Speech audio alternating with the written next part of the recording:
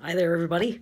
Uh, Saint Sparklebear here. Um, it looks like these videos might just be weekly. We will see.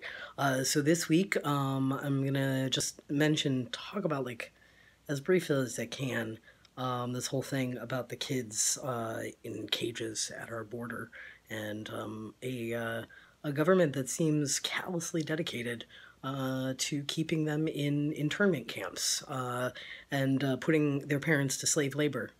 I've heard time and time again that like this is well, it's legal. We're just following the law, and these people are here, and they're coming, and they're coming illegally. And um, and that got me thinking, you know. And then like Jeff Sessions, he like came out and he just straight up used Romans thirteen. Um, to say that the the government is ordained by God, and so the laws of the government are the laws of God, and I'm just gonna say how much bullshit that is. Um, and I'm going to lay it out really plainly here. Um, so, first of all, it's bullshit because that passage, Roman 13, has been used throughout, throughout the centuries uh, to support any number of human rights violations and disasters. Um, I mean, it was used to uh, to support apartheid in South Africa because uh, that was legal. It was used to support slavery here in the United States because that was legal also. Um, and it was used to support the, the Nazi regime, during World War II, um, you know, which seems to be what the president likes about it. Uh, but, you know, so anyway, so uh, yeah, this passage has been used time and time again um, by oppressive governments who are using Christianity uh, as something to hook onto uh, for all those people out there and um, and they're using it to do the most heinous and unchristian things that you could possibly think of. Um, and it's not like Jesus or Paul didn't talk about that, um, because ultimately the the the law, this is the law. So so what they said was basically that like human laws we should follow human laws because they're there for a reason you know uh, the the state is important to follow you know like it's it's like you you go along with things to a point that it interrupts with God's law, and when it interrupts with God's law, uh, then you go with God's law. And do you know what God's law is? The only law, like literally, because you know Jesus gave new commandments. Jesus was the new commandment.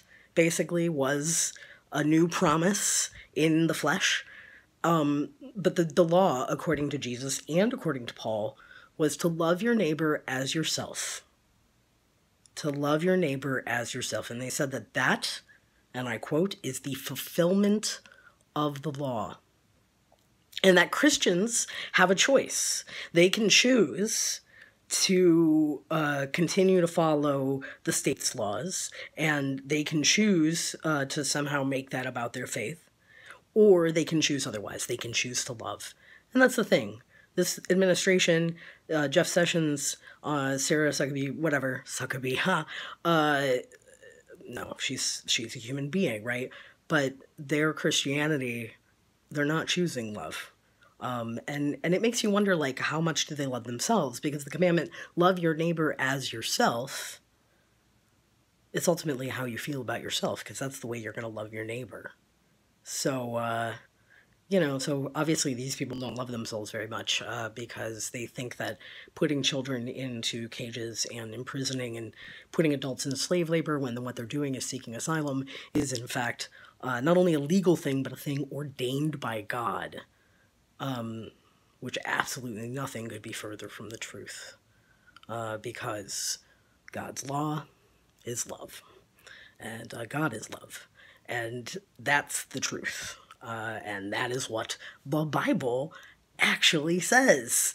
Um, and here we have me, uh, you know, an agnostic, queer, non-Christian who is who like follows Jesus, and I'm telling Christians how to behave. And that I think is really telling about the times in which we live. That I had to grow up as a Christian and uh, be rejected to then tell Christians what their Christ actually said.